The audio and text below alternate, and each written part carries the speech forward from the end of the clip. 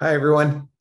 I want to take a moment just to show you a technique for transferring your uh, image from uh, one paper onto another. Um, let me first explain why this is. So I'm going to use an example of an image I have here. Uh, these are just some very rough thumbnail sketches. Here is my issue is that I'm going to finish it on watercolor paper. Now, I don't know there we go. So if you take a look, you can see watercolor paper has a texture to it. And that texture shows up in the paint. But when I just, if I just start drawing on here, I may end up having to do a fair amount of erasing, which really can ruin this texture in any sort of, you know, over erasing, or if I can't get the marks to go away, a couple of things because of the texture of the paper with watercolor, and because watercolor itself is transparent by nature, all of that will really show that if I ruin the texture with an eraser or my lines will show through the paint. So what I do is I don't actually put my, um, my drawing initially on here. Let me show you what I do. So what I've done is I've taken my initial ideas and instead of drawing it on the good um, watercolor paper, I have first drawn it onto just a, a, regular piece of paper. And I've done a bit of a value study, as you can see, uh, trying to make sure where my lights and my main lights and darks are and everything. But I've just drawn it on this paper and I've drawn it accurately, okay? Uh, sometimes I don't necessarily want to put in all those details, but I've done that here. So now, how do I get this drawing onto this paper accurately without having to redraw again and not have to do all the erasing? And that's what I want to show you. So what I do is I'm just gonna flip my paper over onto the back and I can even see it here.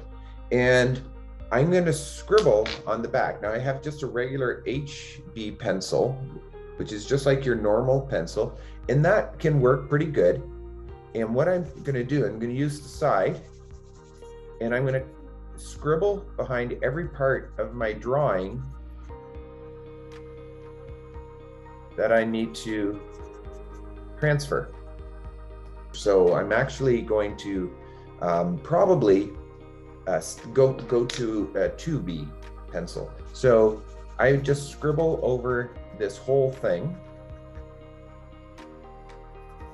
Okay, so I have pretty much scribbled over everything that I feel is important. Let me show you. So it's it's nice and dark. It's it's nice and thick, but you'll notice I, I didn't uh, have to scribble over everything because there's nothing to draw here. So if I turn my page back over, maybe we can even see, yeah, so we can see everywhere that is important. I have the scribble marks behind it, okay? So there's no reason to scribble back there. Now what I'm going to do is put this, take my watercolor paper, and I'm gonna put this on here. Now I can, I don't want this to move at all. So I can tape it or uh, paper clip. Paper clip can sometimes dent the paper. So sometimes I will uh, tape it, um, but I strongly suggest only tape on one side. Don't tape all the way around. And if you can avoid putting tape on the front side of your paper, that is also good uh, because tape can also ruin that texture. Okay, so I have now put tape on the top of my paper and I've only taped it so it goes over the back and I've only taped it at the top in two places so that it's not going to shift but I can lift it as well now to be able to take a look at what I've done.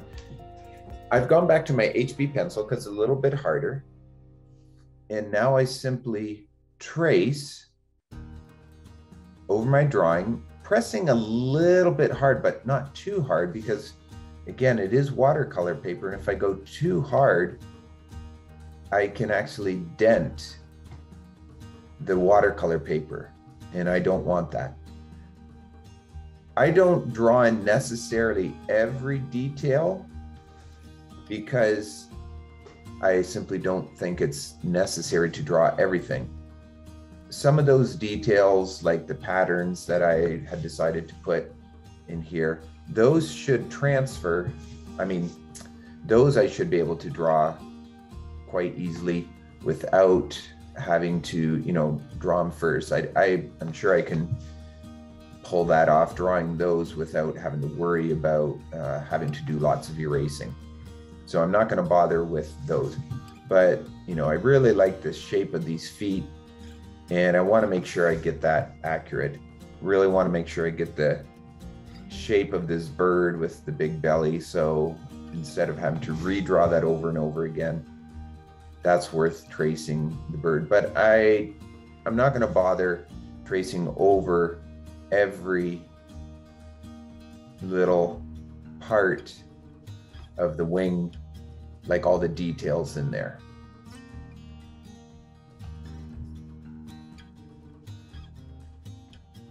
And so I go pretty far to everything. So now if I lift this up, you can see, yeah, quite easily that it is transferred here, okay? But you'll notice, I mean, I, I hadn't finished, but uh, there's a couple of things on the bird. I see I forgot his beak for one thing. So that's why you want to be able to lift this. So I only tape one spot, but I can put it back down, make sure it's in the exact same place, and then I can go back again and finish all these other parts.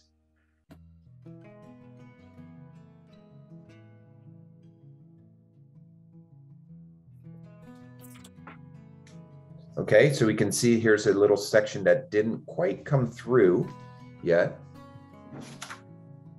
And I can see it's because I actually missed that. So that's not really that big of a deal.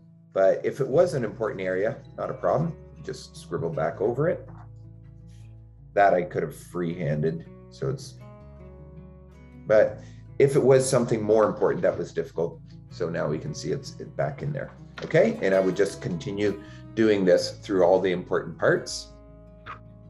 All right, so I've been tracing over this and here is my drawing. And I can go back in and touch this up a little bit.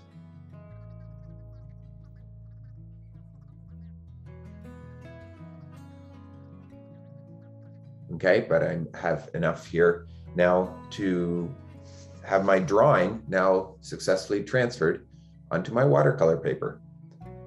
Okay, so here I am many, many hours later, having finished the entire thing. And um, so, yeah, you can see, um, you know, the image uh, very accurate. I did want to point out one thing. I do often finish using uh, a fine tip uh, black marker for my details. Uh, that's just my style of illustration. It's fairly common, especially with watercolor.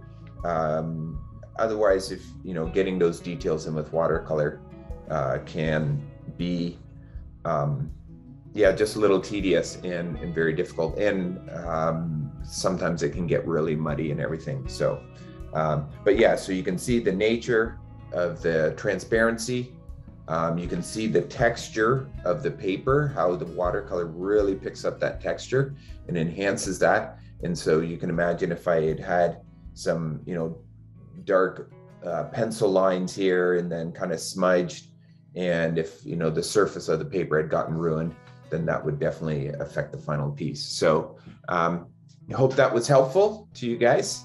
And uh, yeah, blessings on uh, your watercolor paintings.